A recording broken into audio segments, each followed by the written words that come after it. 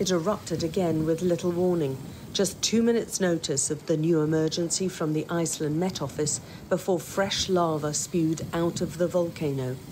A state of emergency was immediately declared as live video pictures showed billows of smoke and red hot fountains of fire.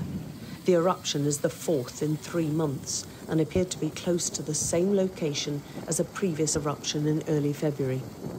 One of Iceland's most popular tourist attractions, the Blue Lagoon, which had only recently reopened, has once again been shut down, with hundreds of tourists all packing up and leaving within less than half an hour of the alarm sounding. Among the evacuees from the area and the closest hotels were my family and I. Um, when the alarms were going off, I didn't initially process what was going on, but then when we went out, we saw the smoke coming from um, outside the front of the building, and a very hysteric front desk informed us that a volcano had gone off. The smoke curled into the sky as we boarded the evacuation bus. This is a well practiced routine now for the staff. Just wanted to a little update. So what we are going to be doing. And all guests had been given the evacuation drill before their arrival. Everyone from all the hotels around about Grindavik has been evacuated.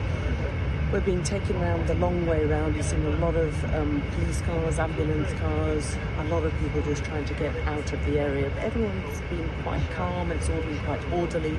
They've been through this quite a lot recently. And uh, we're all being taken to uh, much more inland, to a safer place inland in Reykjavik. Lava appears to be flowing south, headed to the defensive banks hastily built to protect the fishing village of Grindavik.